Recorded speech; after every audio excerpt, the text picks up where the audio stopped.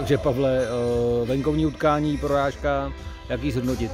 No, hodnotí se mi to hodně těžko, ale uh, všechno to vidím v tom prvním poločasu, který jsme prakticky odchodili. Někteří hráči bohužel uh, si zřejmě myslí, že můžou hrát reprezentaci za Real Madrid a, a, a ono to tak není a dneska to na tom hřišti bylo krásně vidět.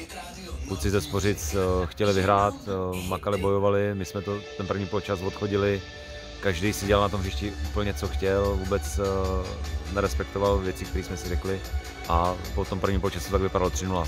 V kabině byl po poločas uh, velký řev a uh, nebylo to, nebylo to úplně příjemná rozprava, nicméně tu druhou půlku už to bylo lepší, samozřejmě to bylo i tím, že jsme po poločase vlastně 3 prohrávali.